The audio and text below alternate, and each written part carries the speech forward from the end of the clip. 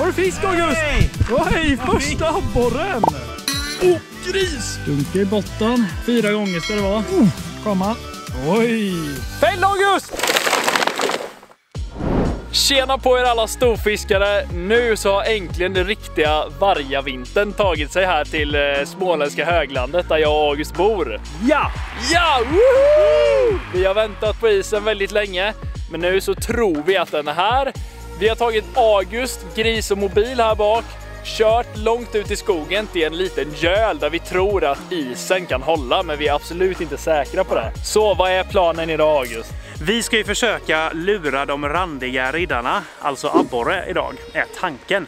Så eh, vi får se. Jag har goda känslor av det här, men det har jag haft förr och då har det gått sådär. Så Ja. vi får se hur det Vi får går. se om vi kommer ut. Det har varit minusgrader rätt länge, men det har varit kalla minusgrader. Ja. Alltså så här, eh, Kalla minusgrader ja. fem...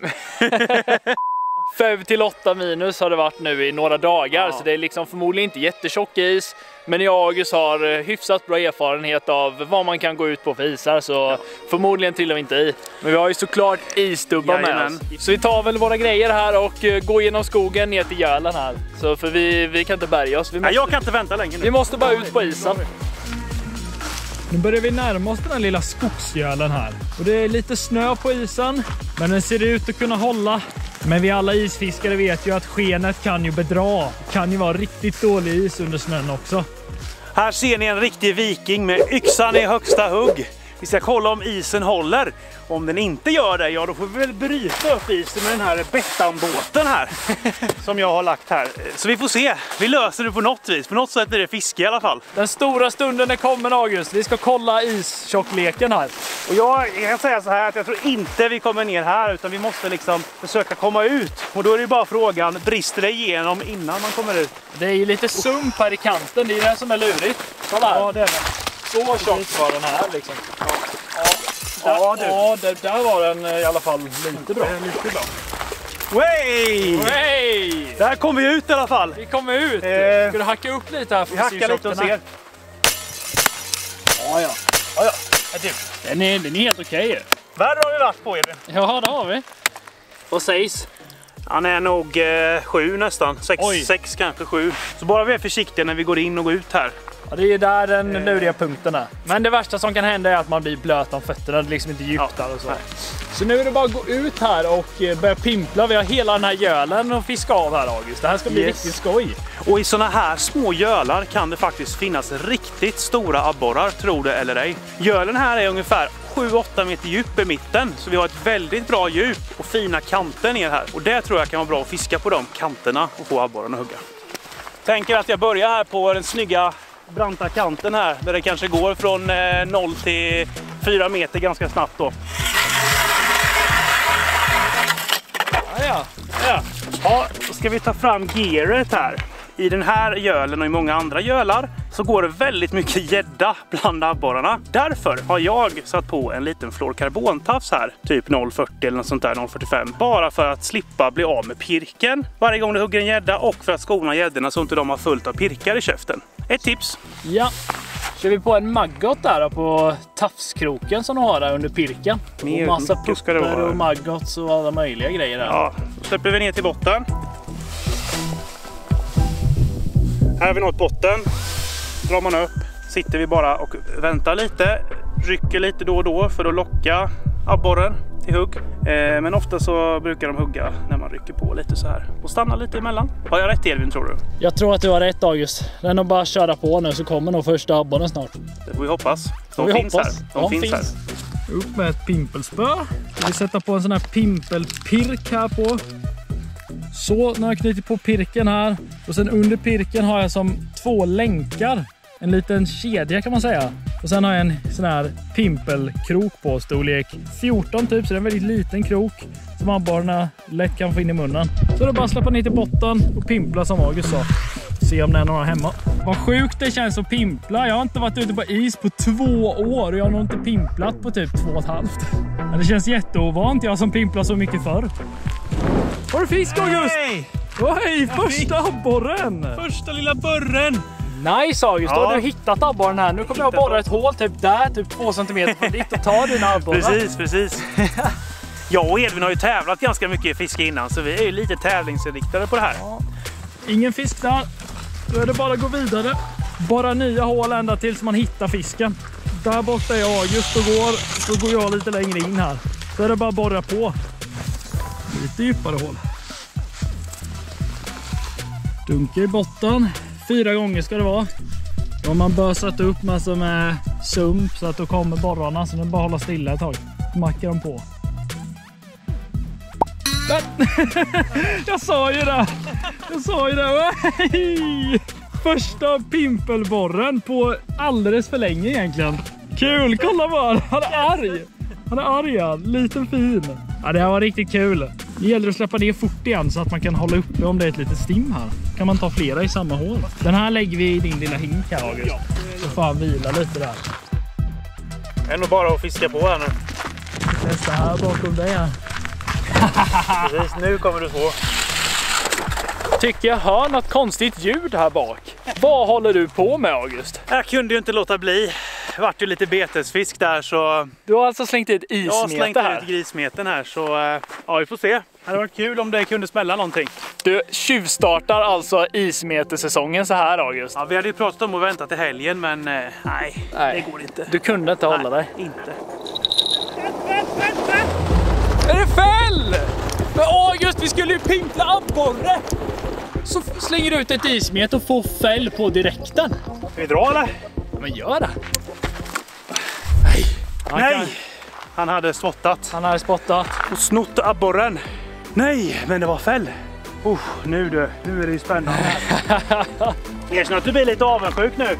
Lite avundsjuk blir jag när jag ser spön här, men å andra sidan, jag håller mig till planen. Jag ska ta en stor borre. Gör det. Nu du, det här hålet känner jag på mig.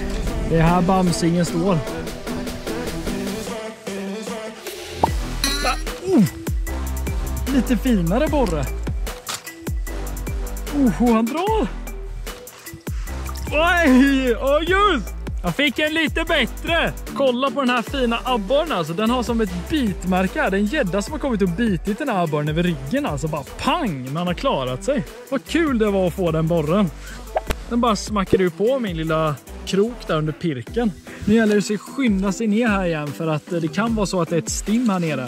Då vill man ner så fort som möjligt innan stimmet hinner åka iväg igen och lämna hålet liksom. Där var ett litet pill. Ett litet pill där. Kommer det panga på i grejerna och det kommer vara tungt. Jag har inte fått så stor pimpelborre faktiskt. 8-9 hektar. Oh! Gris! Ja, så lite var han inte. Jag skulle precis kolla vädret till helgen här och se hur kallt det skulle bli. Och då, Där August. Ja, de, fin. De blir större. det gör Det är ingen superstor, men för att vara på så här pimpel så är det ändå en fin fisk. Ett hektar. Ja, min förra var nog större. Men eh, de här är ändå roliga. Dunka till rejält i spöet så här. Det är kul. Fint. Det är bara snabbt ner igen. Se om det är ett stim liksom. Kan gå fler. Kan gå flera. var det inget mer i det där hålet, men då kan det faktiskt hjälpa att bara flytta så här några meter från det hålet. Så då tar man och flyttar kanske så här fem meter. Så gör man ett nytt hål här. Och hoppas... Får man hoppas att stimmet har flyttat åt det här hållet. Eller kanske ett annat stim här. Fäll August! Jag hörde bara hur du bara pinglade till och small på här. Hade det varit Tobbe nu, då hade han sagt smyg sista biten. Men det Smyg skiter jag sista biten nu då August. Nej, skit i det August. Stickan. Jag är rädd för att han har... eh, Ta nu då. Du har han. Jajamän! Oj! Första gäddan på ismeten. här. Det var en liten söt parvel du. Det var det. Oj, vilken bäst. Stabbig. Riktigt stabbig han. Och mörk är de här. Riktigt Mörk, ja. mörka liksom. Kolla här på eh, rygg och sånt där liksom. Vi släpper tillbaka han. Vi släpper tillbaka han. Tar du en till, en större då? Jajamän.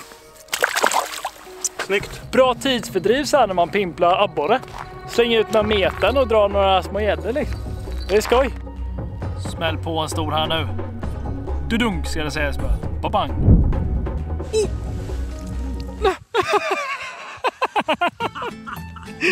Det här var det minsta abborre för året. Alltså den är så liten så att, att jag ens kände hugget. Mm. Kolla vad liten den är. Det är ju typ helt nyfödd den här ju. Vilken gris August! Den här väger nog inte mer än typ 2 gram om man lägger den på våg. Alltså. Nej, Att den ens kunde hugga. Helt sjukt. Ifall ni där hemma ska ut på eran pimpel och ispremiär så kan ni behöva såna här sköna vantar. För jag kan säga de här hjälper verkligen. Det är verkligen att rekommendera. Just de här vantarna är från märket Fishmonkey som ni kan hitta på vår hemsida kanalgratis.se. Så kika in där så får ni ta en gris. Nu kommer någon av oss få en tror jag. Jag tror det. Åh, fisk! Ja då. Kom han. Oj! En riktigt fet liten gris var det. Nu ska jag ner fort här. Kom igen, kan jag få två i ett hål? Ja, det kunde jag! Yay! Två i ett hål. Ska jag ta en tredje med? Från ingenstans så kom det ett riktigt kraftigt snöfall här. Och det, det kan betyda att fisket blir lite segt. Men det är vackert att titta på i alla fall. Frågan är vad August håller på med. Alltså, han försvann in i skogen här. Jag tycker mig höra några konstiga ljud där inifrån. Jag vet faktiskt inte riktigt vad han pysslar med. Vi får se här vad han håller på med.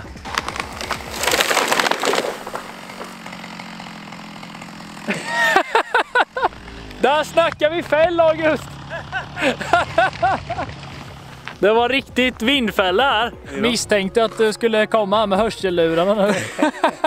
Där du! Nu har vi gjort lite fiskevård här. Det var ett redigt fäll kan jag säga.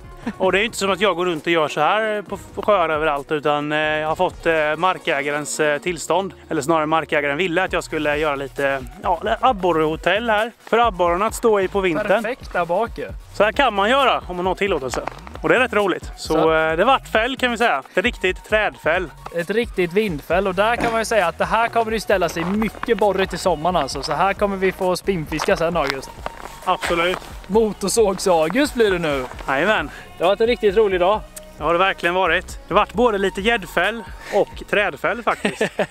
eh, vilket var väldigt trevligt också. Så om ni gillar när August fäller träd och att vi ska göra fler isvideor. När vi pimplar ismetar så får ni lämna en like på den här videon så vet vi det. Så får ni ha det så bra allihopa. På återseende. På återseende. Tja!